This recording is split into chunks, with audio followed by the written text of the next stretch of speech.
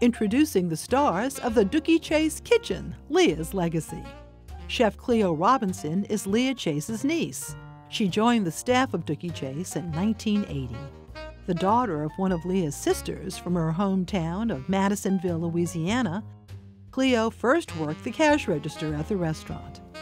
A naturally good cook like her mother, Cleo joined her aunt in the kitchen the following year, becoming Leah's right hand.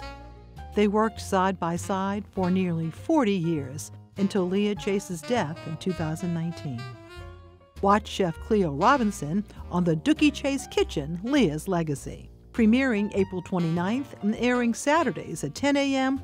and Sundays at 11:30 a.m. on WYES. Check local listings for your public TV station. Learn more at wyes.org/dookychase.